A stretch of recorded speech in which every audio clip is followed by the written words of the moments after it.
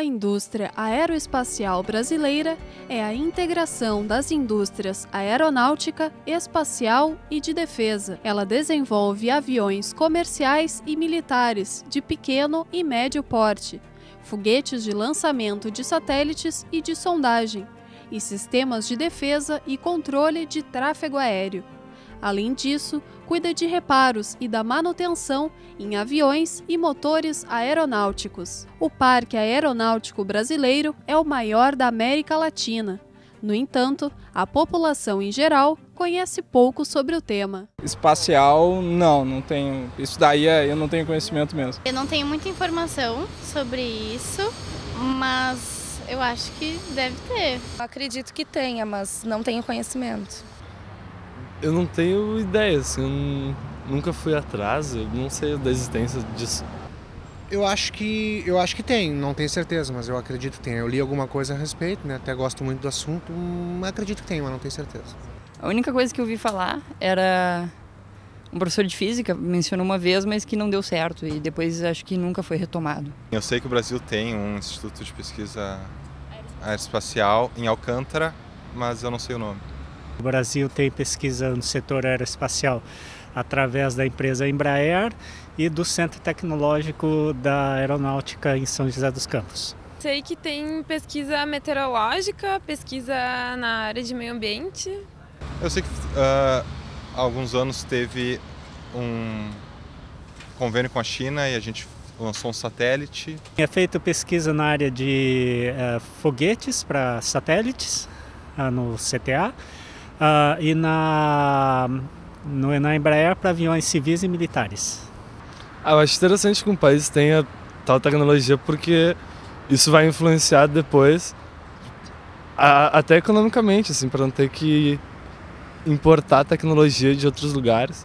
A gente vai ter um desenvolvimento intelectual da, do, dos brasileiros, né? Não uma tecnologia importada, né? Não um, um pensamento importado. Então a gente vai acabar criando a nossa tecnologia. Acredito que seja bem importante. Ele puxa o desenvolvimento, uh, acho que pesquisa direta e indiretamente. Direta porque nos temas que eles uh, abrangem e indiretamente porque respinga em outras áreas de desenvolvimento. Para descentralizar a informação proveniente desse tipo de coisa que atualmente só vem dos Estados Unidos. A pesquisa aeroespacial uh, ela, ela, vem trazer também um mapeamento da, da, da, condição da Terra, né? É isso. Eu acho que é importantíssimo. Não sei se vai ter uh, recursos suficientes para desenvolver um, essa área, por exemplo. Que é um setor que já rende milhões e milhões para o Brasil todo ano em exportação de aviões. A Embraer é a quarta exportadora mundial de jatos, de civis. E, uh, e graças ao investimento no setor aeroespacial. O Pesquisa em Pauta apresenta uma entrevista com Mariana Deves, pesquisadora de pós-doutorado na Secretaria de Desenvolvimento Tecnológico da URGS. Mariana foi vencedora do prêmio Marechal do Ar Casimiro Montenegro Filho, da Secretaria de Assuntos Estratégicos da Presidência da República, com seu trabalho sobre práticas do setor espacial brasileiro. Confira agora. Como é que se deu a sua trajetória acadêmica? Sim, bom, eu fiz a minha graduação, o mestrado e o doutorado na administração aqui na URGS, em Porto Alegre. E desde a graduação eu já me interessei por pesquisa, em trabalhar com pesquisa, fiz iniciação científica e já comecei a trabalhar na área de ciência e tecnologia e interação universidade e empresa. Então, com isso eu decidi fazer o mestrado já nessa área de ciência e tecnologia e fui me interessando e aprendendo uh, nessa área de empresas e inovação tecnológica e aí eu decidi também fazer o doutorado nessa área. E da onde surgiu o interesse para estudar sobre o tema espacial? É uma área estratégica né, na, na economia do Brasil, é uma área muito importante. Sem tecnologia espacial a gente não tem telecomunicações, a gente precisa dela para previsão do tempo, para vigilância de fronteiras, né, para questões estratégicas nacionais, é uma tecnologia imprescindível e o Brasil está começando. O Brasil é um dos poucos países do mundo que detém algum tipo de tecnologia espacial. Né? São poucos os países no mundo que atuam nessa área. E o Brasil tem interesse em ampliar a sua participação e qualificar a sua indústria para atender essas necessidades do país. Então esse tema me interessou pelo desafio que é para as empresas, né, em termos de gestão da tecnologia para a indústria, e também por ser um setor que interage muito com o setor público, com o poder público. É um mercado, o mercado espacial é um setor restrito, né, é um mercado que depende de investimento público, né, e isso uh, nos fornece algumas particularidades para estudar a inovação e, a, e como se dá essa gestão da tecnologia no âmbito privado. Então, é um setor com intensa uh, interação, com intensa troca com o setor público. E isso traz certos desafios para a pesquisa também. Agora eu gostaria de pedir para tu traçar um, breve, um breve histórico do setor espacial brasileiro. O setor espacial, a indústria uh, de satélites e a aeroespacial em geral no Brasil começou no governo militar durante uh, anos 70, né, um pouquinho antes, com a criação do ITA, do Instituto Tecnológico da Aeronáutica, com todo aquele polo que existe hoje em São José dos Campos, começou na época do governo militar. Uh, então o Brasil uh, tem algumas parcerias com outros países né, para pesquisa e desenvolvimento de satélites, entre eles a China, a Índia, os Estados Unidos. E o Brasil, com essas parcerias, se qualifica, uh, tem a oportunidade de ingressar no mercado de satélites. Então, uh, o meu estudo é no sentido de o que, que as empresas, uh, como é que elas gerem esse processo, o que, que elas fazem para adquirir tecnologia, uh, onde é que elas buscam recursos, tanto financeiros como humanos, para incentivar isso, para produzir, para ter esse desenvolvimento e essa participação no mercado. Então a minha pesquisa é nesse sentido, assim, na gestão principalmente da inovação e o que é necessário para ela acontecer. Sobre esse histórico brasileiro, ele foi crescendo, como é que a gente poderia ver hoje em dia o setor espacial brasileiro? Bom, já teve uma época uh, que o Brasil produziu mais no setor de satélites. Hoje em dia uh, existem algumas, alguns problemas de captação de recursos, mas eu acredito que o país está se fortalecendo uh, no seu programa espacial né, com o fortalecimento das parcerias com outros países, porque veja, o Brasil precisa dominar certas tecnologias críticas. Então, com isso, ah, existem retaliações, existem restrições comerciais. Então, se o Brasil não desenvolver internamente essas tecnologias, ele não tem como ter o seu satélite. Então, todo o programa de governo, todo o esforço hoje é no sentido de adquirir, de formar essas competências aqui dentro do país. Então eu vejo que é um momento assim, de, de, de, reflexão, de retomada, de planejamento, porque sem essas tecnologias o Brasil não conseguirá evoluir no setor espacial. É necessário muito investimento, né, sem dúvida, investimento em uh, dinheiro e pessoas, formação de pessoas qualificadas. Então, acho que é isso está num momento assim de ampliação de investimentos. Seu trabalho, tu analisou instituições e empresas ligadas ao setor espacial e além de documentos oficiais do governo. O que, que tu obteve dessas análises? Eu tive acesso a alguns contratos de desenvolvimento de sistemas, né, de subsistemas de satélites uh, firmados entre o INPE, que é o Instituto Nacional de Pesquisas Espaciais, e empresas, empresas brasileiras. Esses contratos uh, hoje são regidos pelo regime de, da lei de licitações, né? um regime de compras públicas, público. Então, esses contratos, muitas vezes, eles não levam em consideração o risco que é inerente ao, ao desenvolvimento de tecnologia. Quando a gente fala em inovação, em tecnologia, inerente a esse contexto está o risco para a empresa. É um contrato de risco, mas que o regime jurídico não contempla. Então, esses contratos muitas vezes uh, engessam o processo que, que não tem como prever. Lá na frente, a empresa talvez não saiba ainda quantas pessoas vai, vão ser alocadas naquele projeto, nem tem uma vaga ideia de quanto, quantos milhões de reais ela vai precisar. Então, esses contratos são meio a meu ver, né, no que eu pude levantar, são um pouco inflexíveis no quesito de fomentar a inovação. Hoje eles não dão muita uh, muito espaço, não, não contemplam essa questão do risco para as empresas. E isso, de alguma forma, nos documentos, algumas entrevistas que eu fiz, eu vi que tem a intenção de melhorar, de mudar. Há uma certa proatividade em melhorar isso, em ter um regime mais voltado à inovação, né? um regime legal. Como que poderia melhorar, então, na tua opinião? Bom, está se discutindo um código de ciência, tecnologia e inovação. Está sendo discutido hoje uh, em nível de congresso, né? em nível nacional está sendo discutido. Que seria, entre outras coisas, para flexibilizar, para ter um regime específico jurídico voltado à inovação, voltado a compras governamentais aliado ao quesito de inovação.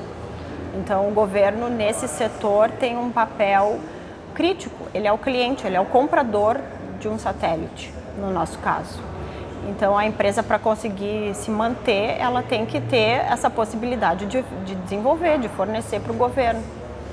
Né? Então, esses, essas discussões desse novo código legal seria nesse sentido.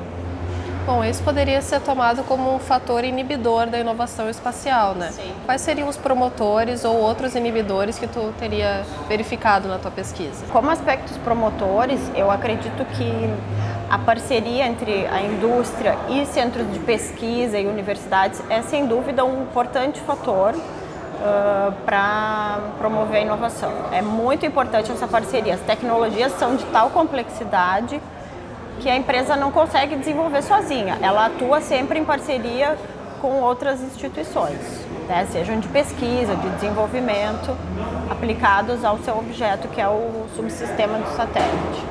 Uh, outro sistema, desculpa, outro fator promotor seria a lei de inovação, que foi promulgada em 2004, né, que aos poucos vem sendo incorporada.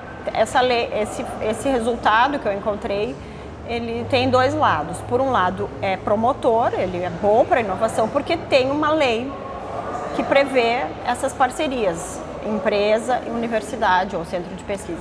Mas, por outro lado, outras esferas uh, da, da gestão pública, como a questão tributária, a questão legal de compras, né, como eu citei antes, ainda não se adequaram totalmente a essa lei de inovação. A lei de inovação existe, mas ela não ela não se reflete em todas as esferas de controle e de gestão pública. Então, ela ainda é uma curva de aprendizado, acredito, que aos poucos esses fatores vão sendo equacionados.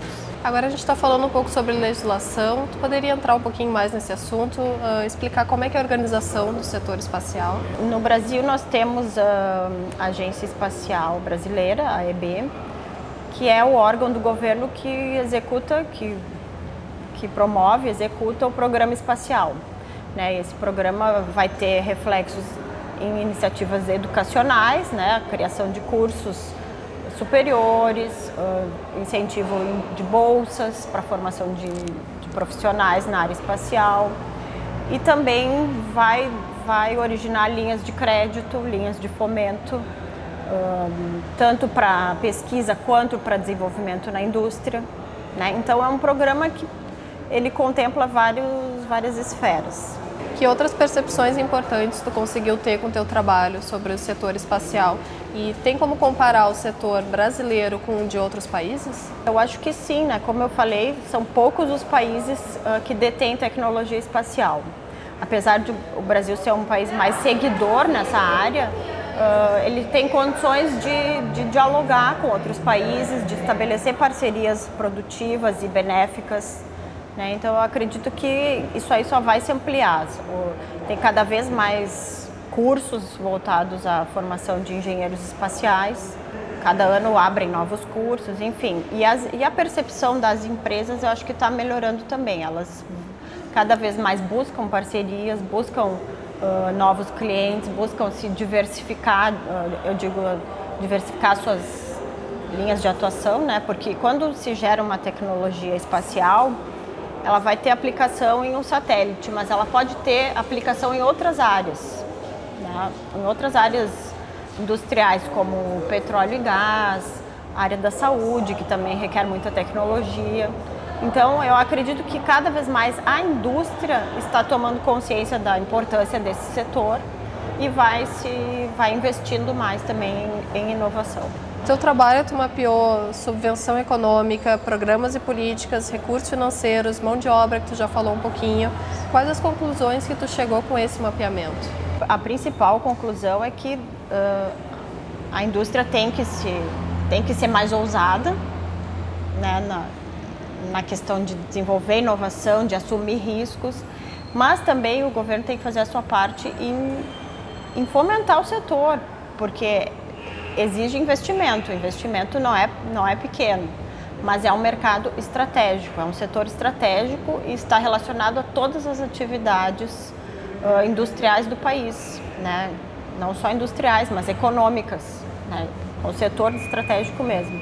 Então eu acredito que a principal conclusão seja essa, que tem, o setor é, é multifacetado e tem que trabalhar junto. A indústria, o governo e a universidade tem que trabalhar de forma integrada para alcançar o objetivo comum que é desenvolver o setor. Sobre esse desenvolvimento, quais são as projeções então para o setor? Crescimento, o que, que tu poderia comentar sobre isso? Ah, eu acho que crescimento sim e, e entrada em, em nichos de mercado, né? Porque o setor espacial tem nichos, tem os grandes satélites, para telecomunicações, uh, mapeamento de imagens, né? E tem os satélites menores, que é para fazer experimentos em menor escala, em escala científica, né? Micro e nanosatélites já estão sendo desenvolvidos aqui no Brasil. E está crescendo também, tem iniciativas do governo gaúcho para a criação do polo espacial aqui no Rio Grande do Sul, já com algumas ações concretas, né? Então eu acredito que a, a tendência é de crescimento no Brasil do setor. E como é que a URGS está inserida nesse crescimento? Bom, a URGS tem diversas linhas de pesquisa que podem contribuir, que já contribuem para o setor e que podem vir a contribuir, né? principalmente engenharia, uh, engenharia elétrica, engenharia mecânica, a física, a computação. São diversas as áreas, além da questão econômica, né, de mapeamento, mercados, estratégias. Então, esse processo está sendo liderado pela Agência Gaúcha de Desenvolvimento, a GDI, e está procurando integrar algumas universidades, as empresas que existem aqui no, no estado e o próprio INPE, né, que é o Instituto Nacional de Pesquisas Espaciais, que tem uma sede no Rio Grande do Sul. Então é um trabalho também de integração dos, dos três setores para fomentar esse setor espacial, que é muito importante. Agora falando mais especificamente sobre o prêmio que tu ganhou, o prêmio Marechal do Ar Casemiro Montenegro Filho. Como é que foi ganhar esse prêmio? Que tipo de reconhecimento ele te trouxe e trouxe para a tua pesquisa? Bom, foi um excelente reconhecimento à, à pesquisa acadêmica. É um reconhecimento público, né, porque é um prêmio concedido pelo governo federal, pela presidência da República. E eu acho que só vem a estimular que outras pessoas, né, colegas meus e novos alunos e também pesquisadores que já atuam, a se interessar por, por essa área. Assim, eu acho que é um reconhecimento muito importante, tanto para a escola de administração e o programa de pós-graduação em administração, onde eu concluí o doutorado, quanto para outros programas também, que podem se engajar e já estão se engajando, com certeza. E agora tu pretende continuar com essa pesquisa, avançar para alguma outra área? Atualmente eu estou num projeto de pós-doutorado de mapeamento de competências tecnológicas aqui na URGS, na CDTEC, que é onde eu estou desenvolvendo esse projeto. E, sem dúvida, a questão espacial não vai ficar de fora, porque é uma tecnologia que a URGS pode contribuir, já contribui, né? E está dentro do nosso escopo de trabalho também.